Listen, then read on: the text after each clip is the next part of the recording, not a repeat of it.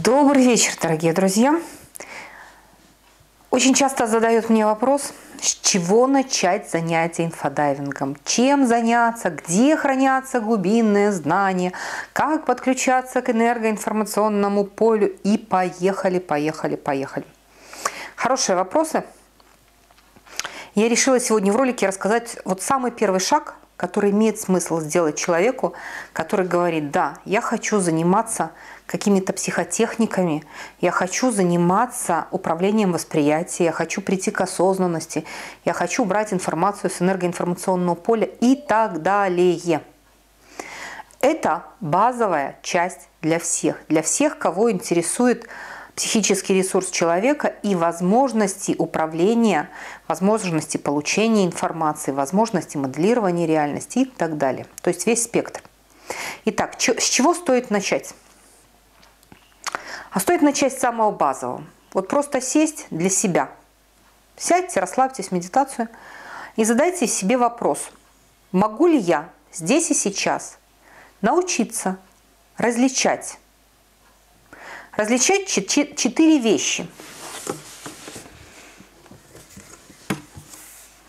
Думать, действовать, чувствовать и ощущать.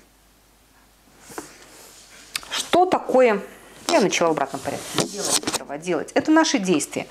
Те действия, которые мы совершаем для того, чтобы получить какой-то результат. Думать – это наши мысли, да, это наш ментал. Чувствовать – это то, что у нас идет на уровне чувств. И ощущать – это то, что идет на уровне тела. А Саймон Роуз а, добавил вот а, к этим всем делам, действовать он никак не интерпретировал, а вот думать он предлагает, предлагает класть руку на лоб, чувствовать на грудь и ощущать на живот. Но если вам такие якоря помогут, можно использовать. В принципе, я их в жизни не использую, но как вариант. Для того, чтобы научиться различать, как вы действуете в жизни и что вы используете, да, вообще что вами руководит – для того, чтобы каким-то образом начать идентифицировать инстинктивные реакции и эмоциональные включения. Вот Зачем это надо? Например, смотрите вы тот же самый круг, где мы работаем с человеком. У человека спрашиваешь, что ты чувствуешь? Когда человек чувствует, когда он сконцентрировал внимание на своих чувствах или на ощущениях, он автоматически проваливается в свой внутренний мир. Он уходит уже в транс. Это транс, господа.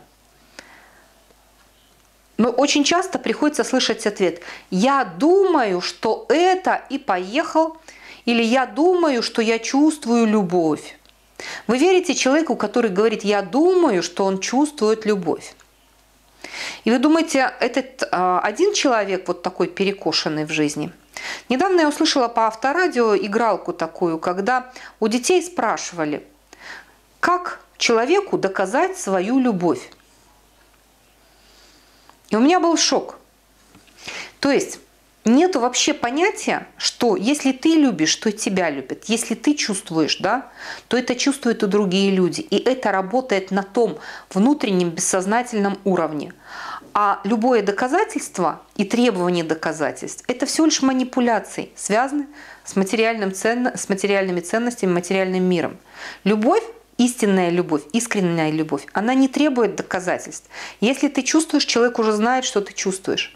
Но если ты думаешь, что ты чувствуешь, то тогда тебе приходят мысли про шубку. Это туда корнями.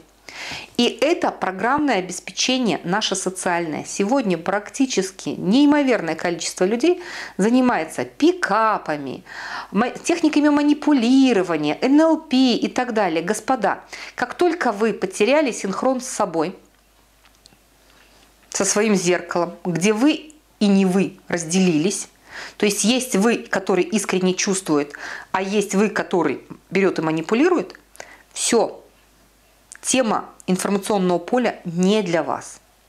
Туда ходят голыми, голыми душой.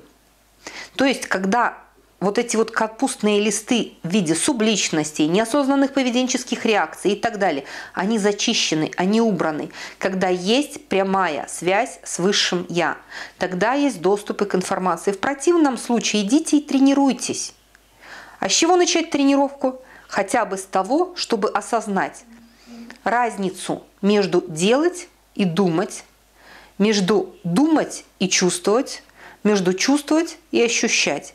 И если вот эти четыре понятия у вас уже будут выложены где-то, и на автомате будет идти у вас уже реакция развлечения, когда вы делаете, когда вы думаете, когда вы чувствуете, когда вы ощущаете, уже прекрасно. Потому что когда вы сваливаете в кучу и подменяете одно другим – в этом бардаке ничего хорошего в плане информации не прорастает.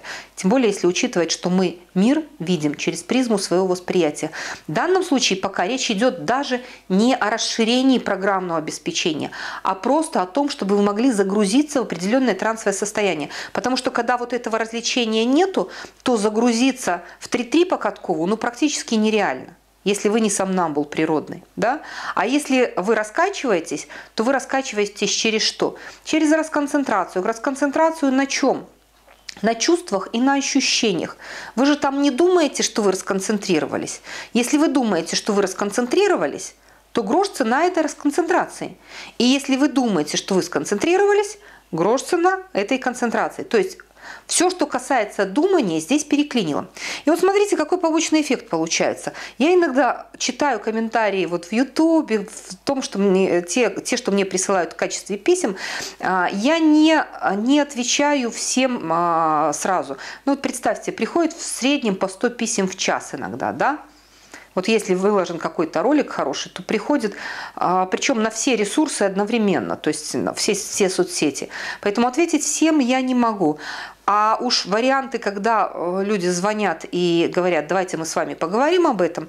Ну, представляете, одному человеку полчаса уделил, второму полчаса, все, уже работать некогда, да, и движухи вперед нет. Поэтому я прошу, пишите, и я на те комментарии, которые действительно серьезные, я вижу, что там есть смысл, я на них отвечаю. Не на все. Просто, просто физически не хватает ресурса, да и желания уделять этому внимание. Да? Но а, есть комментарии, когда люди пишут в эмоции, вы нам чего-то не додаете, вы нам чего-то не рассказываете. А, потому что человек ожидает неких глубинных духовных знаний, когда вот человеку расскажут, вот для того, чтобы левитировать, тебе надо сесть вот такую асану, и ты взлетишь. И вот это человек представляет, что это такое глубинное знание. И слушайте, вы уже все асаны перепробовали, вы взлетели – но если вы приедете к йогу, который вот перед вами левитирует в определенном состоянии сознания, и он вам скажет, присаживайся, ты тоже сейчас поднимешься, то у вас есть шанс подняться. И знаете, за счет чего? За счет того, что тела идут на подстройке. За счет того, что у этого йога определенное состояние сознания.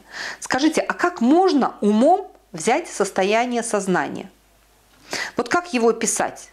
Когда я пишу под комментариями э, вот, э, ответы на вопрос, говорю, как вы можете изучить секс по книжке? Как вы можете понять оргазм по книжке? Такое, это можно только прожить и прочувствовать, потому что мир чувств и мир мыслей – это разные миры. Мир мыслей, он где-то там, это ментал, а мир чувств, он в теле.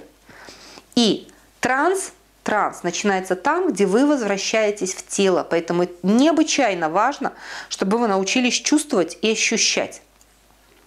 И вот э, в этом деле действительно вот все, что касается чувствовать и ощущать, э, есть такая, такая, такой термин, говорят, эмпатийные связи да, между всеми людьми на этом уровне духовно-энергетическим, физическо-энергетическом э, существует эмпатийная связь.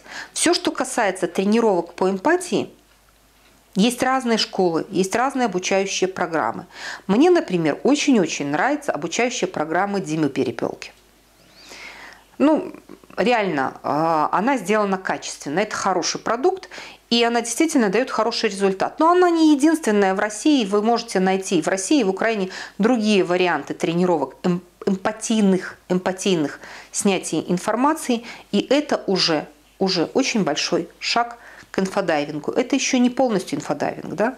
но это очень большой шаг к себе, в свой мир чувств, в свой мир ощущений и в умение через тело и через чувства, через ощущения снимать информацию. Просто, просто, просто. Четыре Видно? Четыре. Делать, думать, чувствовать и ощущать.